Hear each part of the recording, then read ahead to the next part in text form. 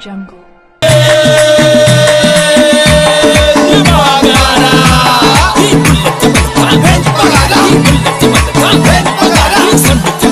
वालेकुम नाजिन। एक बड़ी खूबसूरत महफिल सजाई गई है। आज पीर वगैरह की जानब से उनकी सालगिरह रखी गई है। उनके जनरल सेक्रेटरी हमारे साथ यहाँ पर मौजूद है। बड़ी अच्छी बात करी इन्होंने इस पूरी महफिल के अंदर कि शहर कराची के अंदर सबसे बड़ा मसला जो है वो एजुकेशन का है।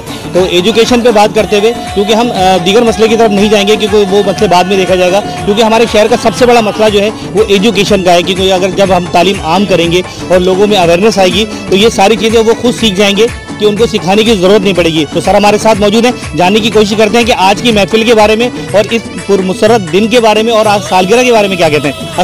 जी सर मोहम्मद असलम का सलाम। जी मोहम्मद सर कैसे देखें एजुकेशन का मसला यकीन सबसे ज़्यादा बड़ा है। अभी एक रिपोर्ट आई है जिसमें ये बताया गया है कि पाँच हज़ार में से कोई चार हज़ार स्कूल उसमें फर्नीचर काफ़ी नहीं है। और कुछ ऐसे हज़ारों स्कूल हैं जिसमें टीचर्स नहीं हैं।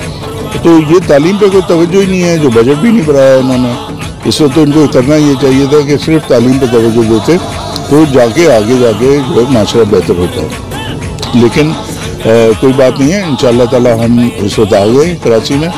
इन ताला हम इख्तियार में भी आएँगे और कराची के तमाम मसाइल कल आपके साथ एक पंडाल सजाया जाता है जिसमें हज़ारों का जो है क्राउड जमा किया जाता है और महफिल सजरी होती है तो वहाँ करोना नहीं आता लेकिन एक स्कूल के मसले में करोना बहुत ज़्यादा है।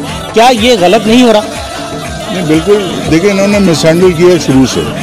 ये पहले दिन से कोरोना को मिसहैंडल किया। ये प्रोपेगेंडा इन्होंने डर, खौफ इतना लोगों में फैला दिया। कि ठीक है, यकीनन है कोरोना, लेकिन ऐसा भी नहीं है कि जिस तरह से इन्होंने आया नहीं है तो वो किस तरीके से ठीक है उन्होंने, उनको तो सिर्फ़ पैसे लूटने हैं। वो इकतदार में इसलिए आते हैं कि उन्होंने पैसे लूट कर बाहर भेजने वहाँ इमलाक बनाने। और उनका कोई मकसद नहीं है।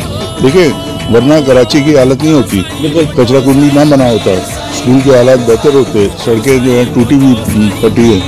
तो ये तो कराची को बल्कि क्या पूरे सिंध को कुत्ते के काटने की वैक्सीन नहीं है इनके पास। तो इन्होंने लावारिस को हुआ इन ताला इनका अब पूरा हो गया। इन मौजूद है सालगिरह पे और हम आपको दिखाएँगे केक बड़ा खूबसूरत सा जो यहाँ पर रखा गया है और आप देख सकते हैं कि एक बहुत खूबसूरत सा पंडाल यहाँ सजाया गया है। रास्ता दिया जाए जिनको भी नोटिफिकेशन मिल रहे हैं। P S one zero six की काबीना P S one zero six के वो P S one zero six के सदर नवीद अली साहब भी आज हमारे साथ यहाँ पर मौजूद हैं। उनसे जानने की कोशिश करेंगे आज सालगिरह के बारे में क्या कहते हैं? मैं साईं का साईं मर्दान शाह का मरीज़ हूँ। मुझे माशाल्लाह अल्हम्दुलिल्लाह उनकी बशारत भी हुई है। तो मैंने पार्टी ज्वाइन करी। मुझे पार्टी अच्छी लगी और इनके लोग भी अच्छे लगे। क्योंकि इस पार्टी में आवाम के लिए कुछ करने के लिए है जज्बा। तो इसी वजह से हमने ये पार्टी ज्वाइन करी और काम किया और साईं की सालगिरह मोहब्बत में बनाई बहुत शुक्रिया। ज्वाइंट सेक्रेटरी नाजीन जमशेद टाउन मॉडल कॉलोनी में जो हम इस टाइम पर मौजूद हैं और पीर वगैरह के हवाले से जो है एक महफिल यहाँ पर सजाई गई है और बहुत ज़बरदस्त किस्म का एक क्राउड है यहाँ पर। काफ़ी सारे लोगों की यहाँ पर शिरकत है बहुत सारे लोगों की आज शमूलियत है यहाँ पर। नाजिम ये वो इलाके हैं जहाँ पर हकीकत वो सही कह रहे थे कि लोग पहले आने से कतराते थे आज और एक इतनी ज़बरदस्त किस्म की जो है सालगिरह की महफिल यहाँ सालगिरह की सालगिरह के बारे में क्या कहते हैं? असल क्या नाम मेरा नाम जी रहमत अली आज तेज बखाड़ साहब की बर्थडे और सालगिरह मना रहे हैं सब लोग। और यहाँ पर आज बहुत। बहुत शुक्रिया। हर नक्सल हर रंग के लोग यहाँ पर मौजूद हैं।